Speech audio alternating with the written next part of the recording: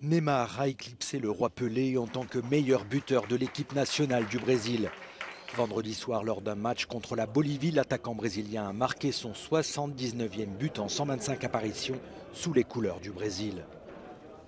Desde já quero dizer que alcançando esse recorde só porque eu passei Pelé, não quero dizer que sou melhor que ele. Sempre quis fazer a minha história, né? escrever o meu nome na história do futebol brasileiro e na seleção brasileira. E, e hoje eu fiz.